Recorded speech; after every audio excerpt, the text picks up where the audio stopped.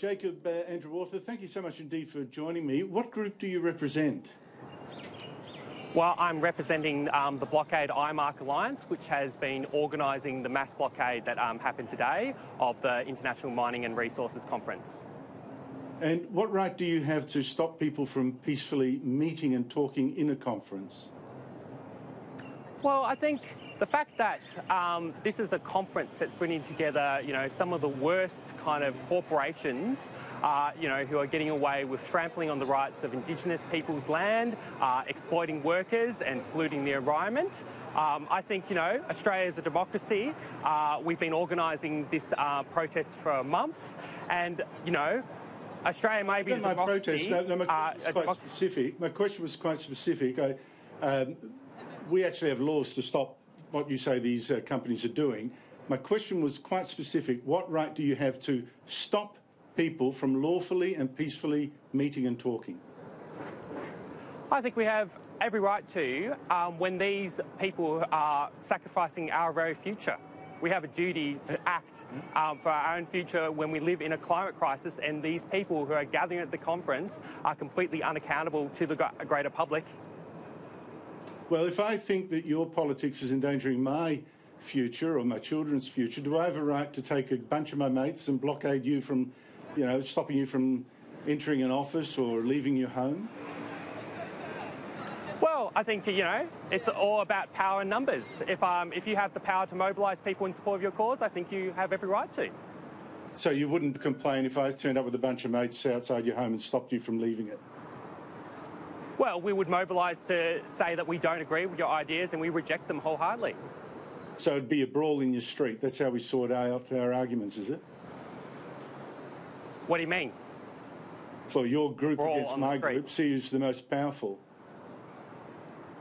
Well, it's all about who can mobilise the most numbers. There's been refugee rights rallies where far right uh, Nazis have attempted to counter protest and they've been tiny in numbers and we've pretty much overwhelmed them with our sheer numbers. So that's how we sort out our uh, arguments, our disagreements, by force of numbers, by physical violence. No, um, our protest has been completely violent. Since when did we use any form of violence? Four policemen were, take, were uh, injured, three taken to hospital today. What about the woman that was trampled by a police horse? What about her? Whataboutism is not What an about the fact that the police not an aggressively attacked us with ba- um, batons and pepper spray when we were stopping people from legally and peacefully entering a, me- a meeting to simply talk. I think there are bigger issues at play here, I think, where we're living in a climate crisis. We need to actually organise uh, and make these What about the fact that OceanaGold, one of the companies that is representing here, is building a copper mine that nobody wants in the Philippines and has been the subject of, of mass protests? What about the rights What of the about Filipinos is all very case? well, but the point is how we settle our disputes in a democratic society. Is it with using physical force, threats, intimidation, abuse, uh, trying to stop people from doing, going about their lawful business, or is it with reasoned arguments and let people make up their own minds? What right do you have to stop people from using our roads? Well, we have every right. We have every right to organise a protest because protests are inherently disruptive. So if we organise a, gr- a group of people, then uh, stop you from using the road outside your home, you'd be quite okay with their right to do that. Yeah, if it was for a just cause, Yeah, well, your idea of a just cause and my idea of a just cause, of course, different. This is the whole point. How do you sort out an argument civilly in a society like ours without people getting hurt and police being taken to hospital? Um, why don't you Well, just we- put the we- arguments to people and let them decide on the merits of those arguments rather than out of fear that they're going to be bullied or their bus- businesses ruined? So we've been, there's been um, scientific evidence that um, um, we're living in a climate crisis and that our That's not my argument. That's not my argument. No, no, no. question There's been all this scientific evidence. We've been putting there's all these rational arguments out there. We actually have no choice but to organise a mass democratic protest with mass participation, and the, the power of our numbers will you. show. I mean, one of the people on your spokesperson list uh, is a bloke that stood for the Socialist Party in a very left-wing uh, state of the last election in Moreland. He get, got less than 5% of the vote. He put his arguments out there. The voters in one of the most left-wing seats in the country said no. Uh, end of argument, isn't it? Well, um, isn't it the right for people to democratically put their ideas forward? Absolutely, like and that's why you're on this show. Absolutely, but it's not your right to stop people from simply having a debate, having an argument, uh, just having an argument, or going to a meeting, or using the road. That's my point. I just don't know why well, again, you feel. The, some of the uh, the people that are gathering at this com- um, conference are some of the most unaccountable, undemocratic people who get away with building mines, coll- colluding with. Uh, uh, um, dictatorships. Uh, they get away with polluting the environment, and nothing is being made to make them account. Hence why Blockade IMARC has come together because we felt we had no choice but to act. Well, you do have choices. You have choices not to punch or hit police or hit police horses. You have choices. Where, Everyone's got a choice. Well, maybe the police me, could have um, made that choice because they're the ones who they're the ones who attacked us first. They're the ones who well, attacked us first. No, we have always said our protest is non-violent. But no, when you use physical force to stop people from entering, you're already saying this is a contest of force, of violence. So, you know, I don't buy that excuse. Can you just tell me, isn't this really less about global warming and mining and more about your plans for a socialist revolution? Well, I think um, the aim of the protest is to make the uh, is to raise awareness to the public um, that these mining companies have to be made accountable for the destruction they're wrecking onto the earth. I think it's got it's well, gone way bigger than just uh, them simply having a meeting. Uh, look, you ignored my question again. Let me put it in a different way. Aren't you, in fact, from the Socialist Alliance? Haven't you, in fact, been uh, on the executive oh, social uh, on the executive council of the Socialist Alliance? Yeah, I'm a member of Socialist Alliance and proud of it.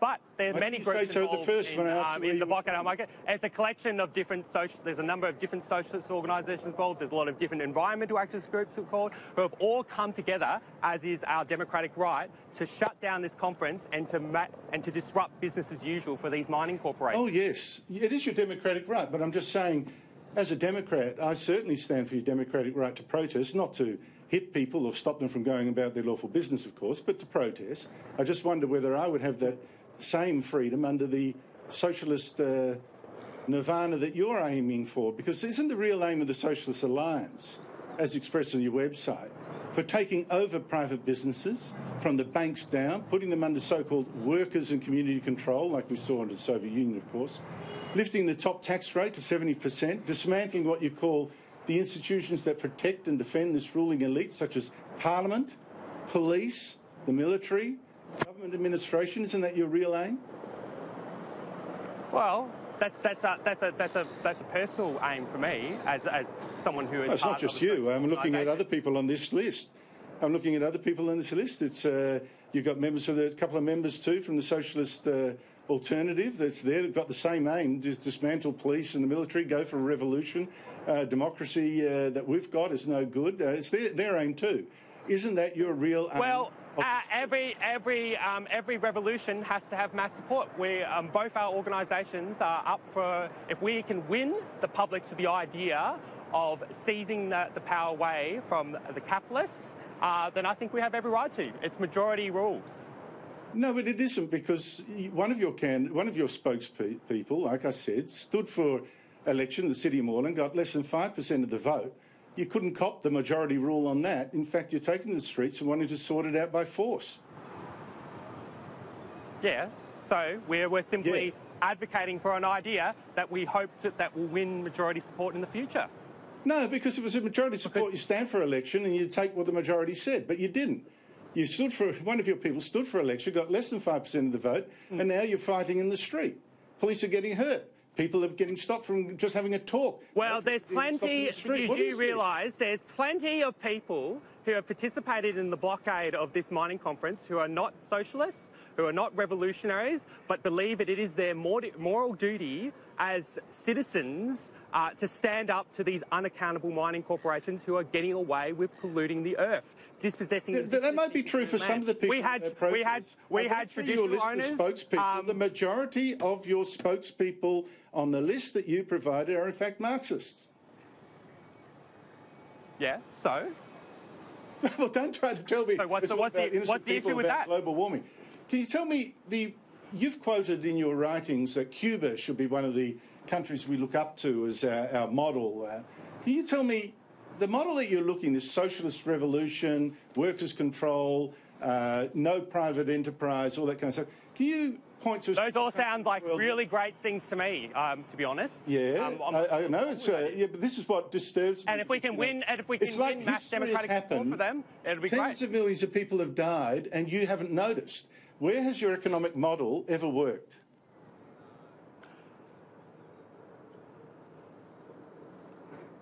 Well, I think I mean when we look at when we look at the destruction that is wrecking um, that capitalism is wrecking on the world, when you look at the fact that the one percent, uh, the minority, owns the majority of the world's wealth, while poor people, while there's still people who are homeless on the streets of Melbourne, while we have endless wealth.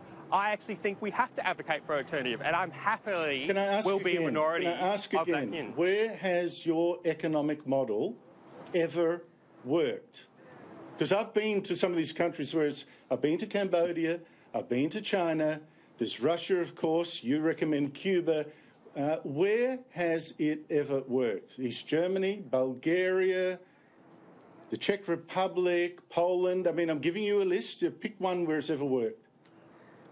I think the whole idea of, you know, building the case of socialism is what we do have to have majority support. A lot of those past revolutions were undone by bureaucratic regimes.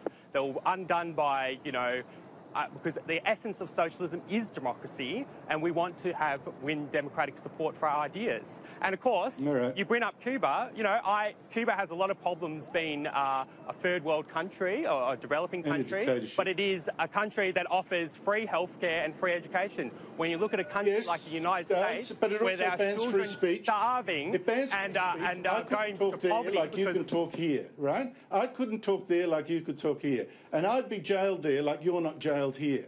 All right, that's Cuba for you. It's a dictatorship, Jacob. And the point is, uh, more than 100 million people have died under the sort of things that you've been recommending, and you still don't learn the lesson, and you just want to foment trouble in the street, inconvenience a lot of people, put police in hospital, and claim, oh, you're the innocent guy here. Please, Jacob, it's a frolic for you. Well, but it's for me personally, taxpayers my a lot idea- of money, my and it's idea, hurting a lot of you know, police, as and I a- wish you would stop. Yeah. Well, mate, Well, how, why don't your how, parents Andrew, talk to you- how do you, you okay, excuse me. You keep you keep going on a red herring. Okay. All right, Jacob uh, Andrewartha, thank you so much for your time.